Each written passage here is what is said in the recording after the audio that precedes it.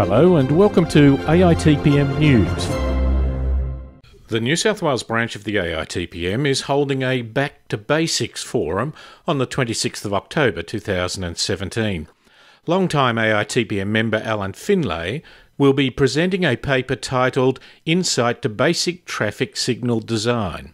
Sydney has a very proud uh, history of uh, developing a very sophisticated traffic signal management system, SCATS, and it continues to be developed and enhanced.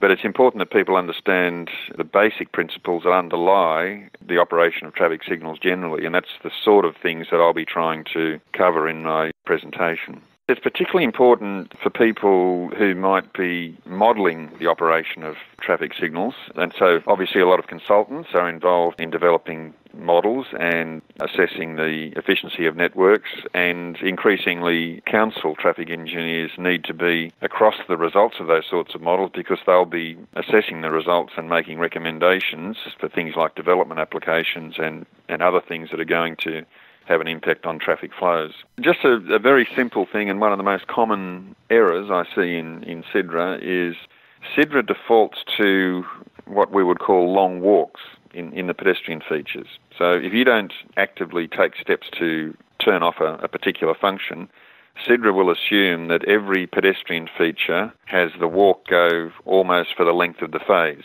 and so the flashing red man will, will operate for the last however long it needs to be for the, the length of the crossing. But in practice, in New South Wales practice, certainly, it's more typical that the walk is only displayed for about six or eight seconds at the start of the phase, and then it straight away goes into flashing red man. If it's left to its own devices, SIDRA will make every pedestrian crossing a long walk, whereas in practice, most pedestrian crossings have short walks.